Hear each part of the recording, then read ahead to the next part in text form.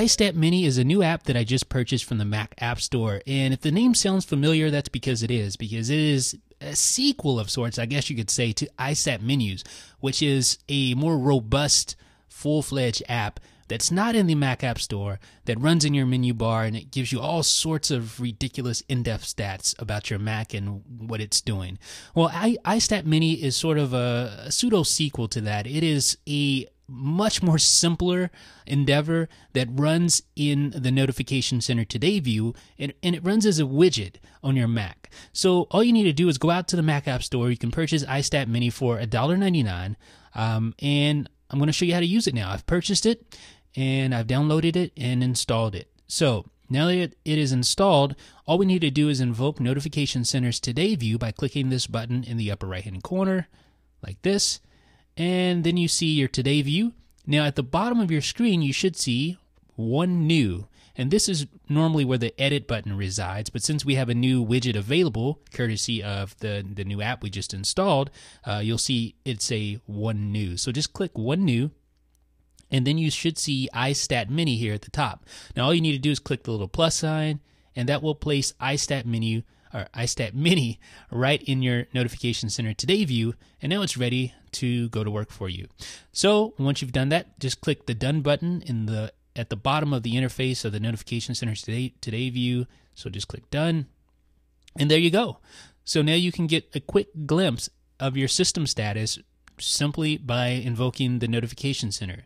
So it's super easy. So all you do, you want to know what your CPU uses it is, you just click the little uh, notification center button in the upper right hand corner like that. You can see, oh, 18% CPU, 7% CPU. You can see how much memory you're using, how much disk space you have available. I have 81% used, I believe. Yeah, I think that's used. And uh, you can see your network activity as well. So it's a nice little way to quickly uh, discern what's going on with your uh, with your Mac there. Uh, I don't really think there's too much in the way of customization, but let's see. Let's go out to our um, to our Launchpad and there's iStat Mini. I'm just going to open that up. And uh, to enable the iStat Mini widget, please open Notification Center. All right. Uh, doesn't look like there's much in the way of customization at all.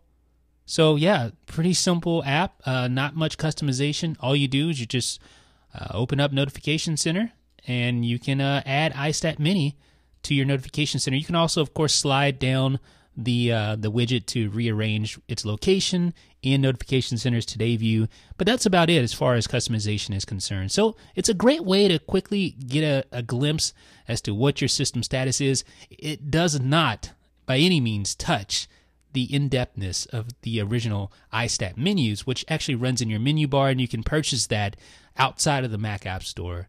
Um, and it is a very robust uh, app. Unlike this one, this is more of a sort of a novelty almost, uh, but it does provide you with some you know some useful statistics about your CPU and your network and your memory, sort of like the uh, widgets available in iOS um, for your like system status and things like that.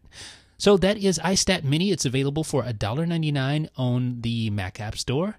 If you try it out and you like it, let me know what you guys think in the comment section. Even if you don't like it, just let me know what you guys think in the comment section down below. This is Jeff with iDownload Blog.